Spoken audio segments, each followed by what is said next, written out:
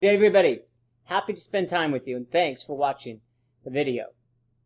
What's a great organization? A perfect organization, a model organization. There's thousands of books about how to create that kind of organizations. I think a good organization has five characteristics. They certainly dream the impossible. They have the best idea.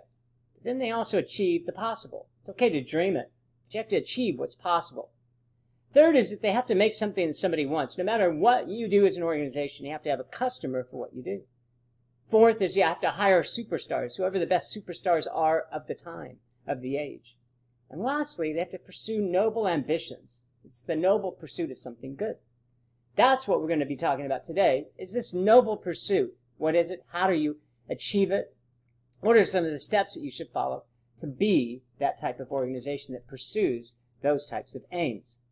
So the, our agenda today is to talk about what some of the key points I want everybody to remember along with points uh, about profits and why profits are good and this thought about taking some and giving some, which I'll spend a couple of minutes on. And then also um, what I really mean about pursuing noble ambitions, being a person uh, of noble character in an organization with noble aims.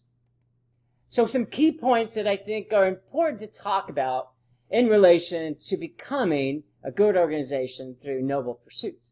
First is that profits equal ability.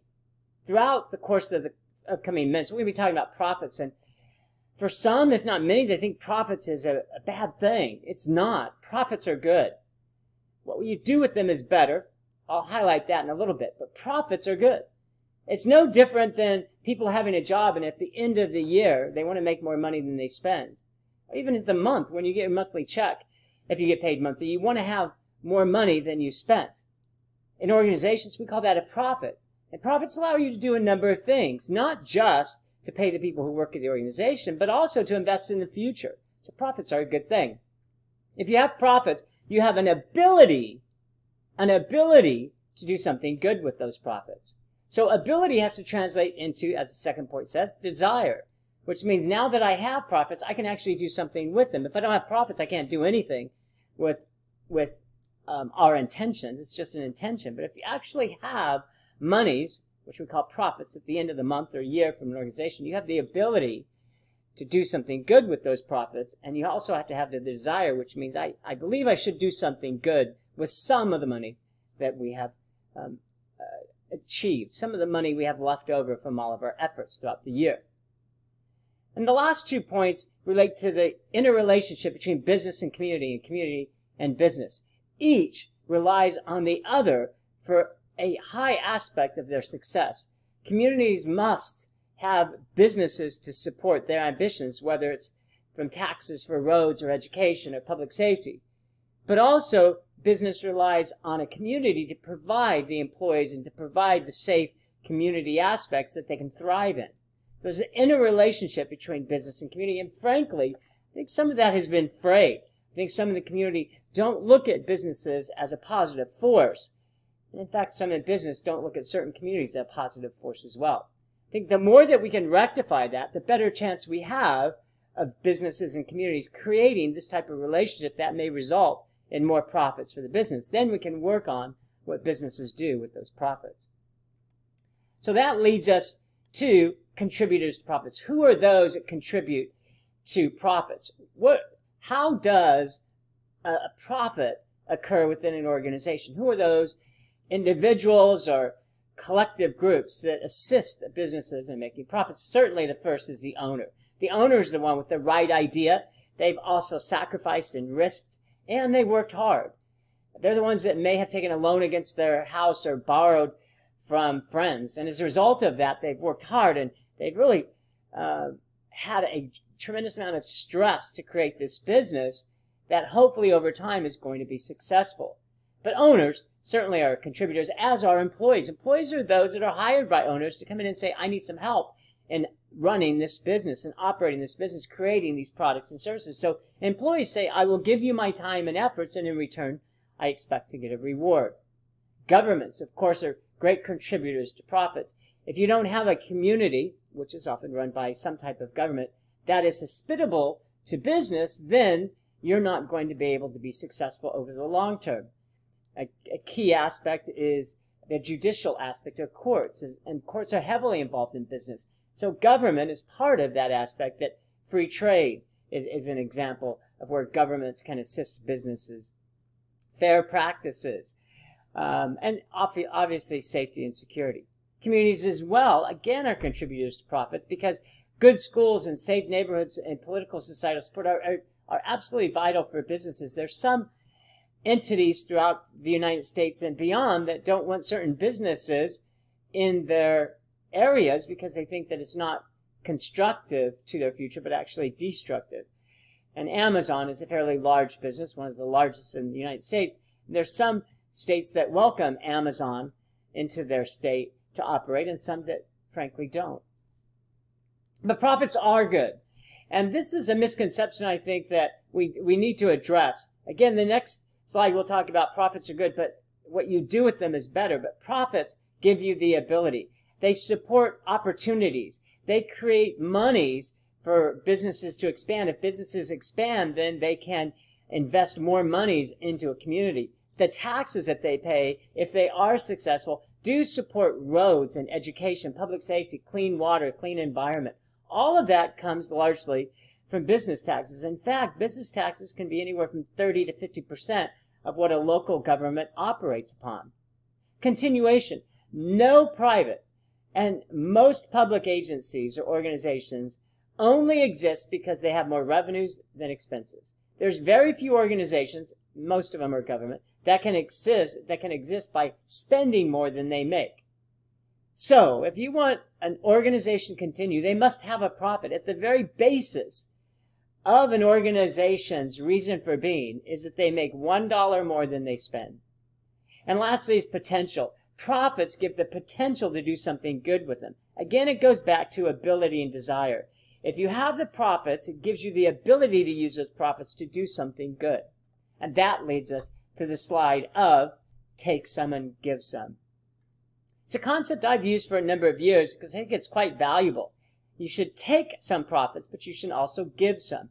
And I use this phrase uh, that I've repeated throughout this video, which is the profits are good, but what you do with them is better. And in relation to the profits, owners should receive some of the profits. How much, that's open for debate, but definitely owners should receive in some small way or large way a share of the profits that they helped create through their idea, risk, their sacrifice, and their hard work. Maybe they have higher salaries or homes and cars and travels, but they certainly deserve to share in the profits.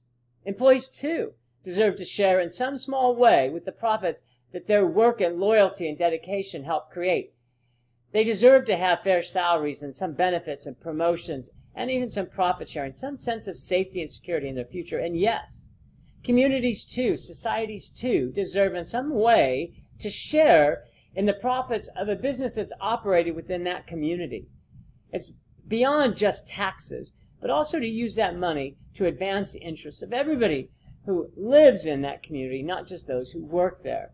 And there's quite a few examples that we often don't hear about, about organizations who do give some back.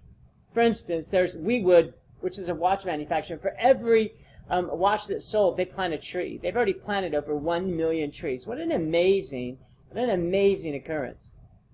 Free shoes. Tom's Shoes gives away one pair of shoes for everyone sold.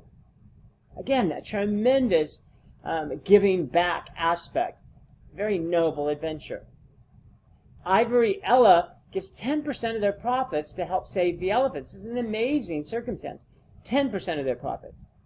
When I often talk about Ivory Ella, some people will say only 10%, why can't they give more? Remember that that's just 10% of the profits. Some of the profits go to the owner, some may go to the employees, some may go to the community, but they also have to invest some of those monies as well. Invest in future product development, placement, um, and services. And so 10% may be quite a bit when you look at where else that monies may go. Amazon donates about 0.5% to charity, and you get to pick the charity of your choice. And 0.5% that may not sound like a lot, but when you look at uh, the billions of dollars in sales that Amazon has on a yearly basis, that's a significant charity, charitable enterprise. Twice as warm for every um, piece of clothing that they sell, they donate the exact same clothing, the exact same piece of clothing to a shelter, twice as warm. So they're really their their market is winter clothes, but for every one purchase, they actually give the exact same product um, to some type of shelter. Toothbrushes. Smile Squared gives a toothbrush to a child for every one purchase. Very similar to Warby Parker. Most people have heard that for every pair of glasses that are sold, they give another pair um, to someone who may need them. And I'll stop here for a second by talking about Warby Parker or some of the others, Tom's Shoes. If you know that maybe even by paying a little bit extra, you're going to be able to buy a pair of shoes for somebody else, you're going to buy one for yourself, but also buy one for somebody else, because let's face it, the price of the shoes is factor into how much you're paying then you may want to say, I'd rather buy a pair of Tom's shoes than Joe's shoes because I know at least some of my money is going to do some good. It's not just going to be a profit that somebody is going to utilize. That's where social responsibility really comes into play. Bombas, as you know, gives a free pair of socks for every pair of socks sold. They have now donated 11 million pairs of socks. And then there's a company called United by Blue. Very interesting. For every pound uh, for every um, item that they sell, they remove one pound of trash from the oceans or waterways. One pound. And as of today, they have removed 1.8 million pounds of trash from, from the waterways. It's an amazing statistic. So those who want to clean the environment, they can go to this company to buy their, their, their products and know that at least some of their money is going to clean the ocean. It's a fantastic enterprise. And it brings us to the last slide.